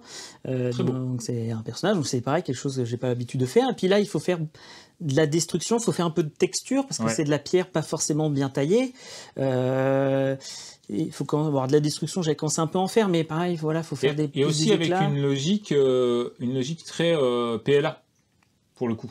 Ah bah, de alors, alors, moi, je t'ai envoyé en PLA, euh, mais en fait, pareil, il faut que ce soit imprimable en résine. Moi, je m'impose toujours de toucher les deux communautés, filament et résine, parce que je veux toucher le plus de monde possible. Moi, je suis plutôt un utilisateur de la résine. Ah ouais. Euh, parce que ben. Et tu penses pas là pour le coup parce qu'on est sur une table battle donc c'est une table qui va se brasser, c'est une table qui va être montée, démontée. Enfin, cela dit, c'est le cas aussi euh, bah, pour le boarding action. Ouais, c'est vrai. Mais là, effectivement, est-ce que la est-ce que la, résistance naturelle du plastique euh, par rapport, au, par à, rapport la à, la résine, est-ce que c'est pas un avantage Ben moi, je suis euh, ravi de la table en PL. Bah, en fait, euh, pour le coup, des décors gros comme ça sont moins fragiles en résine que les décors euh, Warhammer 40 000, qui ont des murs plus fins. Donc en fait, je suis pas trop inquiet là-dessus. Mais je sais que par contre, dans la communauté, des gens qui impriment, les décors sont souvent faits encore en PLA, parce que souvent c'est plus gros que les imprimantes résine. Bon, elles commencent à grossir, mais historiquement, les imprimantes résine étaient plus petites. Mmh. Euh, contraignant, c'est plus contraignant aussi hein, en termes de, de, post-traitement et ainsi de suite. Euh, oui, mais les, les, gens qui impriment des figurines sont obligés de le faire en résine. Ah oui, je suis d'accord avec toi. Alors, ce projet, donc il, il, est né dans ta tête, il est nourri de toutes les influences, bien sûr, du Seigneur des Anneaux et ainsi de mm. suite, euh, mais euh, tout en n'étant pas, euh, tout en n'étant pas ridiculement singé ou quoi que ce soit. Franchement, je trouve que tu as, tu as su ben, gérer à la, à la, perfection le truc. à l'heure où nous parlons, il est en Kickstarter. Quand c'est normalement, c'est jusqu'à la fin. Jusqu'au 22 janvier, septembre. Ah bah donc quand sortira cette vidéo, euh, il sera sans doute encore un Kickstarter, donc on mettra bien sûr les liens. De toute façon, après, il sera disponible sur My Mini Factory, donc mhm. n'hésitez pas. Euh, aujourd'hui, qu'en est-il donc là, tu as fini ce projet-là, tu as déjà, j'imagine, attaqué un autre ou pas Ou, est-ce que tu es en train de, faire les, stretch goals Alors je fais les deux en fait. Euh, là, je fais les stretch goals, euh, mais en parallèle, j'ai déjà commencé à, dessiner, voire même à faire quelques tests du prochain projet. De toute façon, c'est souvent mhm. pendant une campagne, euh, je fais et les stretch goals et le nouveau projet. et donc le prochain projet que j'aimerais sortir pour euh, novembre, euh, ça sera une extension, mais qui sera euh, standalone, utilisable mmh. seul, pour mon tout premier projet, en fait, pour fêter les deux ans mmh. de ce premier projet. J'aimerais faire donc une extension avec bah, toutes les idées que j'ai eues ou qu'on m'a soufflé depuis deux ans sur donc Gothic Sector Templaris. Euh, alors, je vais pas encore trouver de nom. Euh, mais donc, ça sera un peu le, la même chose, mais avec voilà, toutes les améliorations. Euh, euh, j'ai eu beaucoup d'idées, beaucoup d'idées qui me sont venues ben, quand j'ai fait le décor en échelle euh, Epic Scale, parce que ben, je reprenais la même idée, mais en fait, j'ai fait des choses en plus, euh, des murs arrondis, des toits, des clochers, des choses comme ça, ben, que j'aimerais bien refaire et qu'en plus, ben, les gens m'ont demandé plusieurs fois, on dit, bah tiens, ça, c'est ce que tu devrais faire la prochaine fois. Et donc bah, c'était compatible. déjà prévu. Et Et, donc, donc- compatible, bien sûr, hein, oui, toujours compatible avec le Templaris. Euh, et donc, ben, voilà, donc ça, c'est un projet que j'aimerais sortir. euh, Alors quand tu novembre. fais un, un projet, euh, entre le, alors je vais pas dire entre le moment où ça germe dans ta tête, parce que t'as- dans ta tête ça va très vite et c'est une idée par minute, mais euh, entre le moment où tu commences à designer sur ton ordinateur et le moment où tu le sors, c'est 3-4 mois systématiquement, minimum. hein. C'est entre 2 et 4 mois maintenant que je fais ça à temps plein. Parce que Ouais. le Templaris, euh, ça s'est étalé sur euh, des mois. Ouais. J'avais un Ah, autre travail. Maintenant c'est entre deux et donc euh, c'est euh, Entre 2 et 4 mois, ouais, au-delà, ça commence à être compliqué. Puis comme je, je l'ai bien vu, c'est pas parce que je vais y passer plus de temps que. oui. Et puis maintenant, plus que je suis efficace, eh ben, euh, parce que j'ai beaucoup progressé, mine de rien, bah, j'ai besoin de moins de temps pour produire plus de toute façon. Donc, euh, Alors aujourd'hui, tu arrives à la fin d'un exercice, j'allais dire comptable, euh, comme souvent, et ça a été, c'est le cas de la chaîne actuellement, où on arrive, où on passe certaines fourches codines euh, de, de, bah, des, des des machins, des trucs, des bidules, où on n'a plus les aides, ou machin, ou truc, donc on, vole de ses propres ailes, ou, plutôt on se noie, euh, ou on essaye de, surnager. Donc bah, c'est clair qu'il y a une logique de de rentabilité et, on- et- et puis en plus de se demander bah, de quoi demain sera fait, on va pas se mentir. Euh, donc euh, aujourd'hui, tu en es là, tu attendais, tu me disais ça au téléphone, ben, un petit peu les exercices comptables pour savoir vraiment les rentabilités, machin et ainsi de suite. Sans trahir de secret, comment ça se passe? Est-ce que tu es toujours, euh, est-ce que tu es confiant, pas confiant? Est-ce que tu te dis, voilà, quel, quel est ton... Alors, euh, donc ouais, mon exercice comptable, comme c'est la première, enfin, la première année, ça dure un peu plus d'un an, parce que ça Oui, se termine forcément au tout à 31 fait. décembre. Oui, donc oui. ma première année, ça sera un an et demi, donc ça se termine euh, au 31 décembre de cette année. Hmm. Euh, c'est moi qui fais ma compta, donc euh, c'est quelque chose que je fais pas tous les jours. c'est pas un mais on n'est pas au- l'euro près, c'est parce que je veux dire, mais... en- non, non, mais du coup, euh, et puis il y a plein de choses dont j'ai peu qu'estimer parce que c'est mon expert comptable pour le coup qui fera cette partie-là parce que euh, j'ai pas encore payé les impôts, hein, typiquement. Voilà, c'est ça. Euh, y a Je sais pas encore combien il te reste, quoi. Ouais, je sais pas encore combien il me reste, même si bon, moi de mon côté, j'essaye de faire mes calculs euh, pour avoir une idée. Alors, à ce jour, je ne vis pas, euh, je ne verse pas de salaire, je vis uniquement avec le chômage. Donc tout ce que les projets rapportent euh, reste dans la société. Ouais. Euh, donc ça me sert par contre à, bah, à payer euh, la pub, parce que ça c'est quelque chose que je paye beaucoup tous les mois. Ah ouais, mais les, les youtubeurs, ils t'en demandent. Oui, oui, ou les grosses plateformes de, de Ouais, pub, hein, qui c'est plutôt elles. hein. Euh, et puis bon, bah, ça, j'ai besoin d'acheter. euh, j'ai racheté des imprimantes. euh, j'ai racheté une nouvelle imprimante filament euh, euh, mieux que celle euh, premier prix que j'avais avant. Mhm. Euh, donc je continue de consommer beaucoup de matière, mais parce que je fais des tests et des. Bah, bah, j'ai une poubelle normal. qui se remplit de qui se remplit de choses à moitié imprimées, euh, mal imprimées ou bien imprimées, mais en fait j'en ai plus besoin parce que je les modifie après, donc je la jette. Euh, et du coup, euh, donc moi je vis avec le chômage actuellement, mais effectivement je vais plus avoir le chômage à partir de janvier, et donc c'est là que je verrai à peu près un moment euh, l'équivalent de ce que j'ai gagné euh, là. Je pense que normalement, ça, ce que j'aurais gagné pendant les 18 mois, ça, aura- ça aurait suffi euh, pour vivre si j'avais eu à, euh, si je n'avais pas eu le chômage, si je me payais en direct. Euh, après, c'est pas, euh, c'est pas gagné toujours, tout, tout le temps en fait. Ah oui, il faut remettre euh, tous les jours sur l'ouvrage, tu remettras ton, sur le métier, tu remettras ton ouvrage. Exactement. Puis même, enfin, les deux meilleurs projets pour l'instant, ce sont les deux premiers que j'ai faits quand je n'étais pas à mon compte. Oui, tout à fait. Bah, c'est souvent. euh, Donc, voilà. euh, Donc, euh, donc rien n'est joué et bah, typiquement euh, le dernier projet a fait plus de 800 personnes. Mm. Celui-là qui est en ligne donc depuis bientôt une semaine, ben c'est celui qui a fait le plus petit démarrage pour l'instant. Alors je sais pas comment il va évoluer dans la suite, et- mais effectivement moi j'aimerais faire d'autres décors alternés. oui, Je sais hein. pas si c'est un sur deux, mais voilà faire d'autres décors The Old World parce que ben Enfin, fantasy en tout cas, Mm. comme euh, bah, moi, je suis le principal utilisateur aussi. Euh, mais euh, bah, ce projet-là, il faut déjà que j'arrive à le rentabiliser, enfin le temps que j'y ai passé Tout et les fait. frais que j'ai bah, tous les jours. Et donc, ben, on va Et- voir l'évolution de ce projet. Alors, je sais qu'il y a beaucoup de créateurs euh, comme ça, de, de, de, de, de- de fichiers euh, qui sont sur des logiques de Patreon, c'est-à-dire que, euh, bah, un peu comme les tipeurs pour la chaîne, Ouais. les gens bah, donnent tous les mois, et puis voilà. Est-ce que c'est quelque chose que tu as envisagé, ou est-ce que c'est quelque chose que tu... Ouais, J'y pense toutes les semaines à faire ça, mais j'ai peur de sauter le pas. Euh, parce que, euh, en fait, l'avantage que j'ai dans mon fonctionnement actuel, c'est que si je suis en retard, T'es libre. Ouais. je suis libre. Je euh, ça m'est déjà arrivé, Pavonis, je l'ai décalé de deux semaines parce que j'étais pas prêt au lancement. Ouais. Euh, J'avais pris du retard sur toute la partie peinture, euh, pré- présentation, préparation du Kickstarter. Donc voilà, je peux décaler. Mais en fait, un Patreon, il faut que je livre. Mm. Ma production du mois, il faut qu'elle soit faite en un mois. Mm. Et donc, bah, pareil, quand on veut faire des vacances ou, ou des choses comme ça. Ouais, il faut que tu produises en un mois de quoi faire deux mois. Oui, presque. euh, Ah oui, mais, bah, t'as pas le choix. hein. C'est comme moi quand, non, en je, pars fait, quin- euh, quand normalement, je pars 15 jours en vacances, soit je fais pas de enfin, oui, oui. soit j'ai prévu des vidéos en boîte entre guillemets et Mm. que je vais euh, donc euh, ouais t'as pas le choix tu vas forcément travailler plus avant et plus après Voilà. Donc, mais du coup, euh, j'ai- peur de me mettre cette contrainte. Ce que j'aime dans le fonctionnement actuel, c'est que je suis mon propre, patron. C'est moi qui décide ce que je vais faire et quand je le sors. Euh, et pour l'instant, ça me plaît bien. Mais c'est vrai qu'avoir un Patreon, ça permettrait de se sécuriser parce qu'on sait à peu près combien on va avoir euh, ce mois-ci parce que ben, les gens ont payé au début du mois, donc euh, euh, on sait un peu où on va. Euh, mais après, euh, ben, quand on fait des, des coms, ça marche pour les figurines en fait. Si on fait des. Ben, D'un coup, on fait un style euh, humain gothique par exemple, puis la fois d'après, on fait Eldar, ben, peut-être plein de gens qui vont partir parce que Eldar ça leur plaît pas.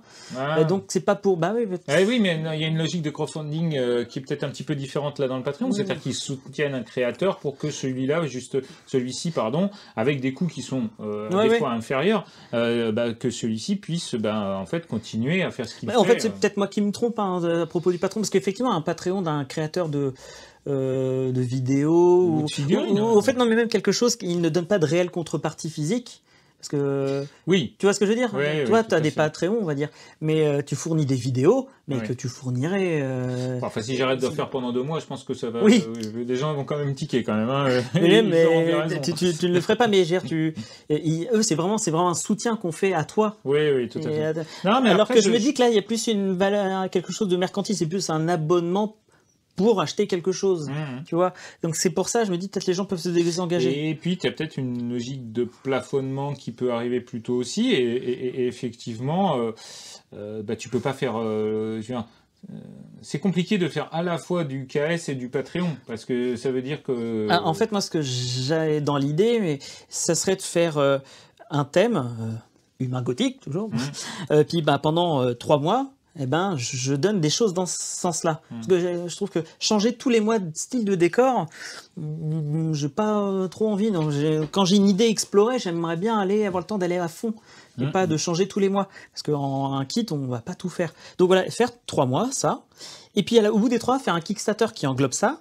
Et des choses en plus pour Kickstarter. Mhm. Mais que les gens qui sont abonnés tous les mois, ben, toutes les choses nouvelles, ils les obtiennent euh, automatiquement euh, sans avoir à repayer plus. Donc, à suivre. On va voir euh, comment tu, tu Voilà. vas t'orienter Mais il y a euh, par rapport toujours, à ça. il y a, donc ouais, ouais, j'ai déjà pas mal réfléchi au truc, mais il y a toujours ce point qui me gêne de, ouais, par contre, euh, tous les mois, il faut que tu travailles. Donc si je me lance, en fait, Tous les mois, faut que tu travailles. Le mec, il travaille 6 jours par semaine. Enfin, voilà. c'est déjà le cas. Oui, mais j'aime me dire que je peux m'arrêter quand je veux. Je C'est le ça. fais pas, mais je sais que je peux le faire. Alors, retour sur euh, Quentin le hobbyiste, parce que c'est avant tout un hobbyiste, bien sûr un passionné, comme beaucoup d'entre vous et beaucoup d'entre nous. Donc en ce moment, euh, comment vis-tu ton hobby, ta vie de hobbyiste? Alors, je sais que qu'en fait, as encore moins de temps qu'avant, mais quand même, jouer à un jeu, notamment euh, au jeu auquel tu joues, c'était une nécessité pour être un créateur euh, qui tombe juste et un créateur qui, euh, euh, qui n'est pas euh, bah, à côté, tout, simplement sur la taille, les murs, les machins, les trucs, enfin voilà, tout ça, et- puisque tu es avant tout un créateur d'environnement. Donc, à quel jeu joues-tu en ce moment? Alors en ce moment, je joue à Warhammer Battle V8. Comme toujours. Mais, mais avant de qu'on me tape dessus, alors normalement j'ai fait mes dernières parties là il y a quelques semaines et je ne jouerai plus à Warhammer euh, V8 Normalement, maintenant, on va switcher sur euh, The Old World. Il se trouve que jusqu'à maintenant, je joue toujours avec les deux mêmes personnes, mon frère et mon cousin, et je suis le seul à avoir le livre de règles en fait de The Old World. Donc eux, ils l'ont pas, ils ont pas lu les règles. Euh, et surtout, alors moi, je jouais jusqu'à hier, on va dire, je jouais contre Vampire, et bon, bah les règles, euh, alors moi, je les avais pas en français, hein. ils ont sorti en anglais, mais alors, je croyais qu'officiellement, ils me les sortiraient en français, donc j'attendais ça. Mais tu viens de me dire que euh, non, non, voilà. voilà. Ça va être à moi de. La communauté française. C'est ça. et puis, mais la communauté française l'a traduit. Oui, voilà, mais, mais, je savais pas qu'il fallait chercher. Moi, j'attendais. Faut être sur les bons, les bons réseaux, monsieur. Mais non, en fait, quand tu l'avais annoncé, j'étais persuadé que Game Workshop le mettrait en PDF français. Donc, bah, moi, j'ai allé sur leur site et puis j'attendais, et puis bah, je les voyais pas. Non, il faut que tu ailles sur la vidéo de, de avec Monsieur Corbac euh, des vampires et en dessous, nous avons mis le lien. Ouais. Et ensuite, bah, les Skaven, c'était pareil, mon cousin joue Skaven, et pareil, il faut que je prenne le. eh bien, ça, ce sera dans la vidéo avec Monsieur Corbac, avec Maître Corbac sur les Skaven qui va sortir très bientôt. Voilà. Et donc, tu auras le lien en dessous. donc voilà, donc normalement on passe sur The Old World euh, très bientôt. Euh, ensuite, donc moi j'aimerais toujours me mettre à Warhammer 40 000 V10, mais il se trouve que j'ai toujours pas trouvé le temps d'assembler euh, une armée. oui, tu, bah, on rappelle que tu jouais en V9. Hein, euh, tu joues en V9 euh, avec, euh, avec tes armées de, de, 40 000 quand même euh, Mes Necrons, j'ai mais quasiment, enfin très peu V9 parce que c'est à peu près au moment où je m'y suis remis et ils ont sorti la V10. Donc, ah d'accord. J'ai pas eu le temps de faire grand chose en. Et puis bon, bah, c'était les Necrons parce que je les avais. mais en fait, moi j'ai des vieux Necrons, donc il y a plein de choses super qui sont sorties. Donc enfin, tu vois ce que je veux dire? Il y a plein de nouvelles unités qui n'existaient pas à l'époque de mes figurines, donc bah, je vais pas continuer de jouer avec. D'accord. Alors qu'il y a des choses mieux qui alors, existent. Team. Euh, voilà, moi je voulais jouer à Kill Team. Euh, donc j'avais acheté les décors, j'ai fait les décors pour, euh, mais pareil, j'ai pas toujours près de chez moi. Et donc ton cousin et ton frangin Eh ben, alors je sais pas s'ils vont se mettre à Kill Team, mais 40 000, mon frère m'en parle. Et il va même d'ailleurs probablement s'y remettre de son côté, mmh. donc je vais pouvoir m'y remettre. Bon, bah maintenant que c'est enregistré, il aura, il aura plus le choix. Oui, ben le, le problème c'est que j'ai toujours pas mon armée de Space Marines d'assemblée. Alors, en ce qui concerne The Old World, il a une magnifique armée de nains que vous verrez sur la chaîne dans un rapport de bataille, et donc c'est aussi la raison de sa venue. Nous allons donc jouer sur une table produite par lui, avec des figurines peintes par lui, produite par lui en tant que d'ailleurs impression 3D. Euh, figurine Island Miniature, si je me trompe pas. Chez Island Miniature, oui. Voilà, euh, et euh, donc bah, ce sera l'occasion pour toi d'affronter qui tu ne sais pas encore. mais, l'avantage d'avoir peint cette armée, c'est que ça m'a réconcilié avec la peinture. Parce que moi, depuis, euh, depuis que j'ai commencé les Warhammer, la peinture, c'est pas du tout une partie que j'aimais. Mais il euh, faut voir mes orques. Euh, parce que mon armée d'orques est, peinte, hein, mais avec de la peinture Umbrol à l'huile. C'était à l'époque. Voilà, à l'époque. mais t'es vieux, en fait, hein en fait, bah, c'est pour ça qu'il a plus de cheveux. ça fait plus de 20 ans que j'ai commencé les Warhammer. Donc ils sont absolument les. Puis bah, à l'époque, bah oui, donc ça fait pas beau, puis on n'avait pas les peintures contrastes. Donc là, mes nains, bah, qui sont peints euh, en slab shop, donc avec euh, du brossage. Euh, les a pas encore montré. Hein. Du, brossage, des peintures contrastes, bah, ça fait un résultat euh, qui, est vraiment mieux que toutes les figurines que j'ai pu peindre de, en 20 ans. Les tutos peinture, les amis. Et, tu vas réussir à bousiller mon stylo? Et malgré le fait que eh ben, je ne prétends pas avoir de de compétences en peinture euh, particulière. Ah, mais il ne s'agit pas de prétendre. Non, non, voilà. Donc, donc du coup, même pour un débutant, eh ben, ça permet d'avoir vraiment euh, des figurines assez simplement belles, en fait. Enfin, vraiment belles, oui. Comme disait un grand peintre, une figurine non peinte est une figurine qui n'existe pas sur la table de jeu. Il faut le savoir.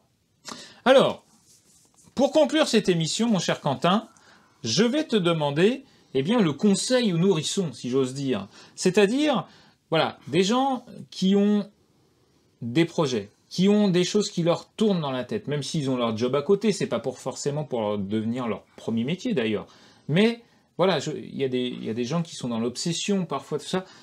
Quel conseil tu pourrais dire aux gens qui voudraient se lancer, qui voudraient faire leur projet, qui ont un projet qui peut être un projet d'ailleurs de, de, jeu de jeu de, de, de là de, de, de, jeu de figurines, un projet de, de, jeu de société. Parce qu'on en voit, enfin, bien sûr, un projet euh, de pillage par exemple ou des choses comme ça. Qu'est-ce que tu pourrais leur donner comme conseil? Alors déjà effectivement de le faire. Surtout s'ils ont un travail à côté, bon voilà, il n'y a pas de risque. Donc faut vraiment, faut le faire, faut aller au bout. Euh, par contre, donc le conseil c'est que euh, on peut avoir la, la, meilleure idée du monde, si on ne sait pas l'expliquer simplement et si personne n'en entend parler, elle vaut rien du tout. Donc en fait, eh ben, ce qu'il faut bien travailler, c'est comment je vais expliquer cette idée, ce projet, une fois qu'il est prêt, comment je vais le vendre, même si c'est pas mmh. c'est quelque chose de gratuit, il faut vendre une idée, et surtout comment je vais la diffuser. Voilà, c'est vraiment, il faut bien représenter son idée et bien la diffuser. Ça, c'est ton conseil principal. Ouais. Bah oui, parce qu'en fait, après, on peut passer des heures à travailler. Euh, si elle est diffusée à personne et que ben on a travaillé pour rien en fait. Et toi, et toi alors donc justement dans cette démarche, euh, quand tu as fait euh, quand as fait Gothic Sector Templaris, euh, bah, tu m'as contacté. Mmh. Euh, je ne suis pas le seul à avoir été contacté, mais je, dois être le seul à avoir répondu. C'est ça. Et, donc, bah, tout de suite, je t'ai dit, bah, viens à la maison, on va en discuter. On a passé euh, des soirées, on a mangé ensemble, on a discuté, on s'est appelé au téléphone, on a voilà. Et puis, est-ce que ça t'a aidé? Comment tu, enfin, j'espère en tout cas que ça t'a aidé, ne serait-ce que les conseils que j'avais pu mmh. avoir d'autres personnes. Et, et donc, cette démarche-là, c'est quelque chose que tu encourages en fait alors pas forcément de m'appeler moi, mais ce que je veux dire, d'appeler, en fait, moi je pense que c'est important quand on a un projet d'aller voir les gens qui sont les acteurs de ce de, de, de, qui s'en servent ou qui potentiellement pourraient s'en servir. C'est tout con, mais si tu fais, euh, j'en sais rien, dans un ballon de foot, bah, euh, la première. Je prendre l'exemple de, Léo Fender. Léo Fender, a créé euh, la Stratocaster, donc la, la, la, guitare Solid Body, la première guitare Solid Body. La première chose qu'il a fait, c'était d'aller voir dans les, avec un ampli d'ailleurs, avec les amplis à l'époque, il est allé voir les, musiciens de country qui tournaient autour de chez lui et il leur a prêté le matos. Il leur a donné des guitares. Il leur a dit voilà, vous vous en servez, vous me dites ce qui va, ce qui va pas, comment vous le ressentez, machin truc. C'est en fait eux qui ont fini par diffuser le truc, mais c'est surtout eux qui ont été le premier. Enfin, je sais pas comment on peut dire, mais les rapports retour clientèle en fait, euh, alors que voilà.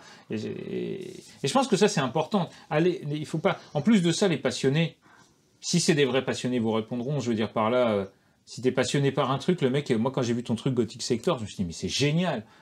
Donc euh, moi, petitement, dans mon coin, je me dis, attends, on va pas les, on va pas le laisser. On va faire ce qu'on peut, mais on, va dire, on va dire les choses, et puis on va faire ce qu'on peut pour, euh, pour que ça existe, parce que c'est tellement cool, quoi. Et alors effectivement, donc dans la partie diffuser euh, son idée, eh ben là où ça marche le mieux, effectivement, c'est quand on touche les gens vraiment intéressés, en fait. Hum parce que payer des sponsors euh, avec des youtubeurs, c'est pas très compliqué. Hein. Euh, la plupart acceptent euh, de parler de, de, ce qu'on veut leur vendre. C'est fou, c'est fou quand on donne de l'argent aux gens en général. Ils compte, de de l'argent, mais en fait, qu'on paye ou qu'on paye pas, la, meilleure promotion, elle va être faite quand même par ceux. Donc toi, par exemple, qui ne m'a jamais demandé d'argent, donc tu as fait la promotion de, de, mon premier projet, enfin de tous les suivants en fait. et puis, ben, par exemple, j'avais contacté un donc des, des youtubeurs étrangers qui m'ont aussi fait des promotions, bah, j'en ai payé plusieurs, mais en mm. fait, celle qui a le mieux marché, c'est celle que j'ai pas payée auprès de Miniature Hobbyist, un, un youtubeur britannique, qui est un gros joueur de euh, boarding action. Ouais, j'ai vu, j'ai vu la vidéo. et, ben, il avait déjà fait des tables boarding action dans ses vidéos. Et moi, je l'ai contacté, je dit, bah, moi, j'ai un boarding action qui va sortir avec. Euh, euh, bah, avec des dalles rétroéclairées. Et puis bah, lui, en plus, il faisait déjà, il aimait bien faire le truc rétroéclairé. Il dit, bah, génial, j'adore. Et en fait, il m'a vu une vidéo, il m'a pas demandé d'argent pour euh, la première. J'en ai payé d'autres, mais celle-ci, il, me l'a fait. Il m'a dit, mais non, j'adore trop, je vais la faire. Euh, c'est pour moi, quoi. Et ben en fait, c'est celle qui m'a le plus mis en avant mon projet à l'époque. Autre chose, mais bien sûr, et, et autre chose que tu avais faite et que j'avais trouvé aussi, enfin que je t'avais proposé, c'était de venir à mon association et de montrer ton vrai. Et je me rappelle très bien la soirée où on a joué sur tes décors, que tu avais peint d'ailleurs, mmh. c'était tes décors à toi, euh, c'était les tiens, que tu avais apportés, tu les avais montés devant les gens, tu les avais, on avait joué mmh. dessus toute mmh. la soirée, et ça, ça, a un impact, enfin c'est tout con, mais tu peux pas... Euh, tu peux pas mieux tomber. Enfin, je veux dire, c'est pas là tu distribues pas des prospectus à qui euh, peut-être Là, tu vas dans une asso et, et, je trouve, je remercie là encore d'ailleurs la compagnie des Mort qui est toujours très ouverte à ce genre ah de, ouais, ouais, de, de choses. Et on apprend plein de choses avec des vétérans du hobby qui vont donner leur avis, qui vont et c'est toujours ultra bienveillant en règle générale. Euh, et euh, donc donc voilà, donc c'est aussi euh, cette, cette démarche-là, je pense que c'est vrai, c'est pas déconnant. Il ne mm. faut pas avoir peur hein, de, de, de, contacter les gens. Et... Mais comme tu le dis très bien, il faut, il faut avoir déjà conceptualisé ce qu'on va dire par rapport à son produit. C'est très important. Euh, moi, je me rappelle quand tu es venu, euh, tac, tac, tu as monté les trucs, tac, tac, tu savais déjà T'étais pas là en train de dire oui bon bah j'ai fait ça tiens vous voulez pas ça vous dit pas bon en fait. Non tac et ça c'est et pourtant, tu n'es pas un grand. Euh, ah non, moi, j'ai pas de compétences particulières en vente euh, ou en marketing. Hein, c'est pas trop. On voit difficilement en tête de gondole dans un supermarché vous vendez du saucisson. Hein. Moi, je le, je le vois pas sur un métier comme ça. Mais euh, donc voilà. Et alors, est-ce que tu avais un autre petit conseil à donner Ouais, pour le hobby. Euh, d'un point de ah hobby. Alors on n'est pas d'accord là-dessus, mais c'est le conseil de Quentin, c'est l'émission de Quentin. Moi je considère qu'on se lance dans une nouvelle armée, de pas l'acheter tout d'un coup. Parce que c'est quelque chose à sécurer de, de, tout peindre après en fait. Parce que moi j'ai acheté, euh, j'ai acheté d'un coup 4000 euh, points de compte vampire. bon déjà j'ai mis des mois à les assembler et en fait maintenant que je les vois et que je me dis il faut les peindre, il y, a, des centaines de figurines, mais je crois que je les peindrai jamais en fait. Alors que les nains, eh ben déjà j'ai fait plus petit, parce que c'est des nains. et puis ben j'ai ça faisait même pas 100 figurines, et là je l'ai pu les peindre sans m'écœurer. Euh, et puis je compte l'agrandir, ouais. Euh, parce que euh, bon j'ai fait une armée plutôt pour les photos, mais pas jouable. Enfin, c'est plutôt que suite aux dernières défaites, je me dis, il faut, que je la repense. mais je vais ressortir de réimprimer d'autres figurines, mais que je vais repeindre cette fois-ci, parce que de toute façon, maintenant que j'ai une armée actuellement peinte entièrement, si je rajoute quelque chose, c'est obligatoirement peint maintenant. Bah oui. Donc c'est plus facile dans ce sens-là que se dire, bon, voilà, bon bah t'as 500 figurines maintenant, euh, peins-les. Eh bien, merci, mon cher Quentin. Alors, d'abord, euh, merci pour ta venue au studio. Hein, euh, merci pour l'invitation. Bah, vraiment, c'est un, comme toujours un plaisir de te voir. Longue vie à Fabricators l'air, longue vie à tes projets. Merci d'être donc venu pour ce, ce Vie ma vie de Cadien. Que sont-ils devenus? C'est toujours très intéressant. On l'avait fait avec Creed aussi eh bien, de revoir les gens comme ça au fur et à mesure euh, du temps, euh, de savoir où ils en sont, ce qu'ils ont dans leur développement de projet, et ainsi de suite. Donc merci euh, beaucoup. je vous rappelle que tous les liens dont on a parlé sont dans la description de cette vidéo et notamment pour les projets de My Mini Factory. C'est ça, hein, My Mini Factory, je dis pas de bêtises. merci encore donc de t'être prêté bah, à cette émission et aux questions-réponses. Euh, euh, si vous avez aimé cette vidéo, n'hésitez pas à mettre un petit pouce en l'air, à vous abonner à la chaîne et à la partager autour de vous. Si vous voulez la soutenir, vous pouvez le faire par son Tipeee. Les liens sont dans la description de cette vidéo et euh, vous avez de nombreux avantages chez nos partenaires quand vous êtes tipeur de la chaîne, comme par exemple moins 20% sur vos achats hobby chez click29-hobby.fr ou bien moins 15% chez Torek. On se retrouve très bientôt pour d'autres vidéos sur la chaîne, dont certaines euh, avec Quentin. Mais oui, puisque rapport de bataille, attention, une grande première. Euh, merci beaucoup encore à toi. Euh, donc, merci à toi. À très bientôt dans les Vioques, puisque tu es un aficionados, tu es là souvent. Tout à fait, tous les lundis soirs. Voilà, dans le, dans, le, chat. Et, et, merci pour ton soutien et tes dons d'ailleurs à cette occasion-là. on se retrouve donc le lundi et le jeudi. Mais d'ici là, n'oubliez pas que sans maîtrise, la chagate n'est rien.